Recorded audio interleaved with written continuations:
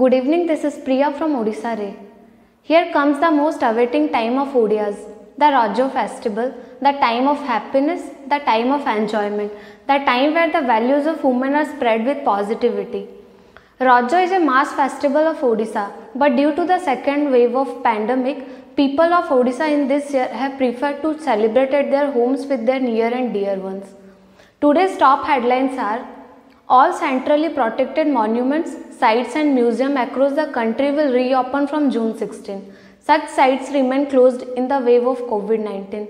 An adulterated soft drinks manufacturing unit was busted by police at Khanda Devli under Patapur police limits in Ganjam district. Articles worth rupees 25 lakh have been seized from the spot. One person has been arrested in this connection.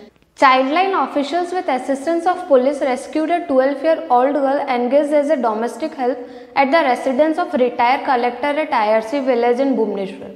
The Odisha government has decided to provide free education to children orphaned by COVID-19. They will be included in Green Passage scheme under the state government. Costs of medical, engineering or any technical issue will be borne by the government. The state government will be rehabilitate beggars in Bhubaneswar, Puri and Sambalpur. Three shelters will come up in Bhubaneswar and special provisions will be made for the skill development. This was informed by Social Security and Empowerment of Persons with Disabilities Ashok Chandra Panda.